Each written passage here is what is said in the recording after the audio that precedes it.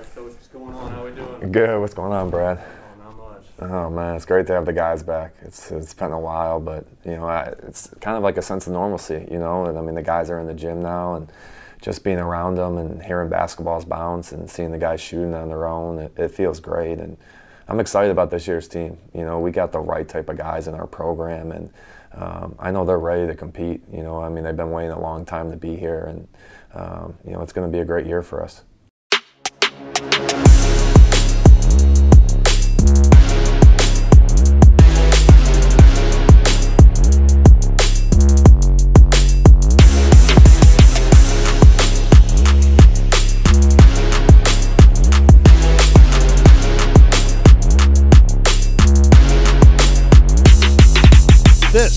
Is Building the Dawgs.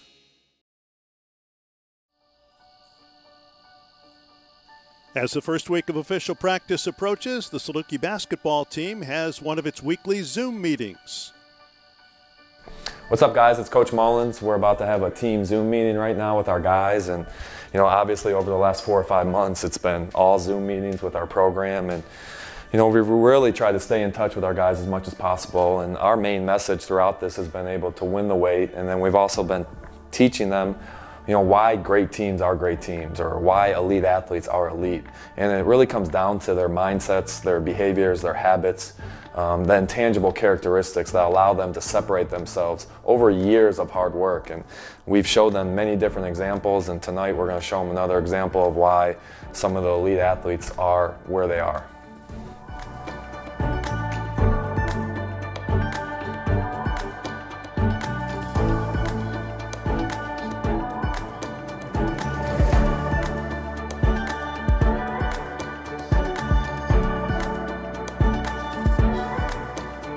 all the guys who said stuff on the Zoom last night, uh, yesterday, were, you know, accurate in terms of, you know, kind of what our mindset needs to be heading into this year, and in terms of stacking good practices and, and failing forward, and you know, finding ways to, you know, overcome obstacles, and a lot of that stuff, and a lot of stuff we've talked to you guys throughout, really the quarantine part of this has been about the mentality, you know, of great teams or great athletes and, and why they are where they are. And the thing we stress to you is it doesn't happen overnight. You know, it doesn't happen overnight. I talked with Lance today about his word, and his word was unrequired. And in terms of, you know, it's those little unrequired things that the best teams do, and, you know, the best athletes are you know the best lawyers or the best doctors all those you know there's a reason why people are where they are. It's the best avenue that we found. And um, for us to be able to still not only talk about basketball but mainly just get the guys together you know get them to um, you know get to know each other and introduce themselves because we have a lot of new guys this year. And you know so we didn't want the first time they ever meet each other in the middle of july when everyone's on campus. So it's been really beneficial for us. And um, you know i think our guys have taken away a lot of great messages that we've been able to explore with them.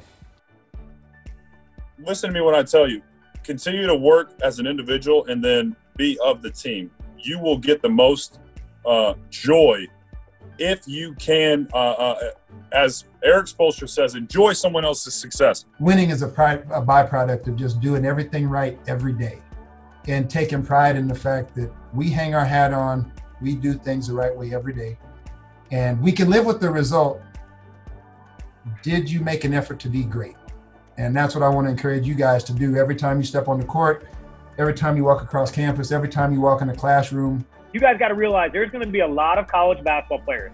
In fact, I would have to guess 90% of basketball players this summer, they're going to act like they're working. They're going to fake grinding. They're going to be tweeting that they're working hard because they're not being held accountable by the coaching staff, which they're used to. And so if you guys are part of that 10%, the guys that say, you know what, I know that today my coach isn't going to see me. I know that today I'm not going to have to compete against another one of my teammates. But today, I know that I'm setting myself up for the future.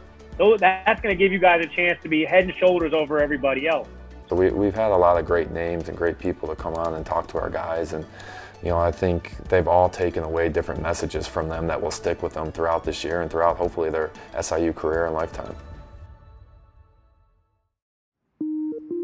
As official practice gets underway, the team must follow strict COVID guidelines and protocol. Assistant AD of Sports Medicine David Rule is one of the many who are tasked with ensuring the safety of each student athlete.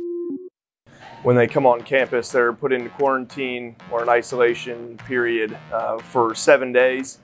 Um, during that period, we do a COVID test for them. Uh, we do daily symptom checks, twice daily temperature checks, um, and then once their test results are back, they're allowed in the building, and we allow them to practice and work out in the weight room and all that. Um, so the, the daily temperature checks continue uh, throughout this whole period. Uh, they, every time they enter the building, they take their temperature.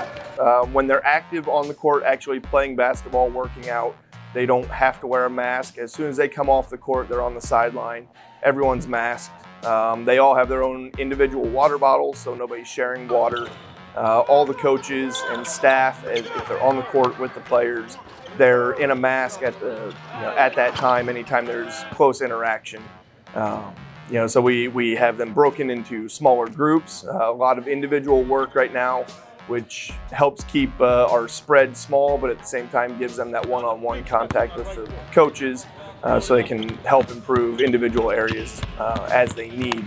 But we keep everything small, keep everyone as separate as possible, um, and then the equipment staff does a great job. They're sanitizing the balls and everything after um, after the workouts are done that day.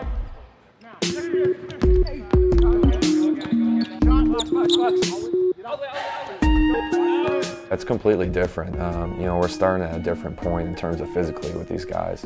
It's the first time in their lives for four or five months that they haven't had a gym to go to or, you know, been able to lift weights or condition or, or play pickup.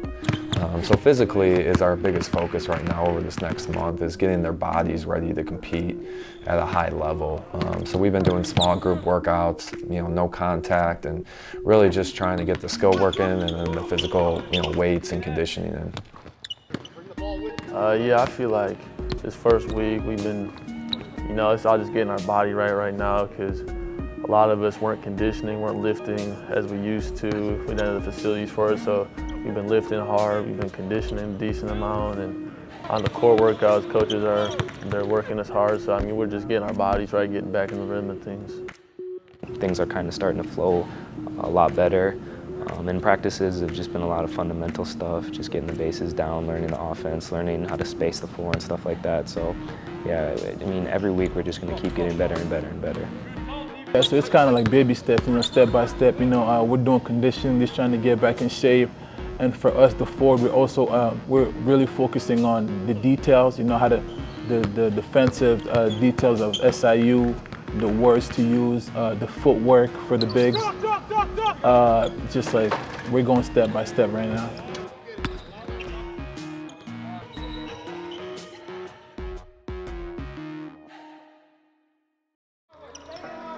A familiar face Saluki fans will see on the court this year is redshirt sophomore guard Ben Harvey. He sat out last year after transferring to Southern from Eastern Illinois.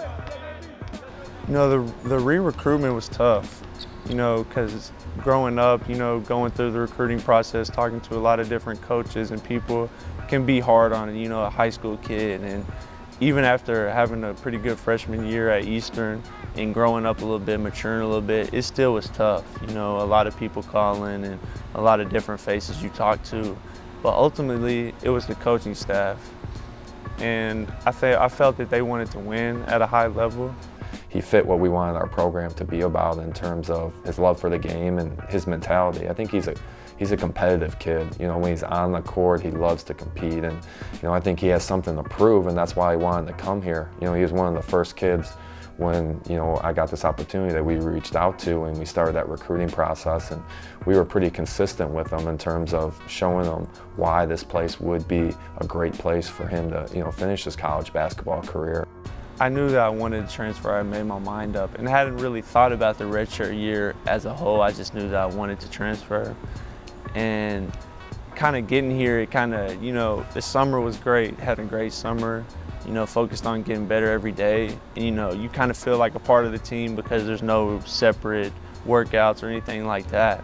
And so once the season kind of started getting around, then it kind of hit me that I had to sit out this year, which, you know, hurt a little bit because I wanted to be out there. But you know, and then that's when I started focusing in, talking to the coaching staff, GAs, and really focusing on how I can get better each day, whether it's in practice or individual workouts. And, you know, during the redshirt year, it's a process, you know, mentally and physically. And that's just the biggest thing is trying to improve every day, no matter what it is. You know, it was a year where he attacked every workout, where he attacked the weights, where he got to understand our culture, our offensive things, defensive principles, and, and now he's ready to just step in. It's a much seamless, much more seamless transition than it would have been if you know he would have just came and tried to play right away. So I think he's a year ahead, um, and he's just kind of, although he doesn't have the experience that Lance Trent and Marcus does, he's got the knowledge that those guys got. He understands how we want to do things here, and you know I expect him to have a big year for us. I mean, I'm super excited about this year's team, you know, and I think everybody's bought into the system, whether it's the freshmen all the way to the seniors. And I think, you know, having a core group that had been here, you know, and kind of know how coaches run things and how everything goes around here helped a lot of the new guys, you know, already kind of have that feel for how things go. And they're already bought into the system. So I think we're going to gel really well on this year and, you know, have a chance to for sure win the MVC championship.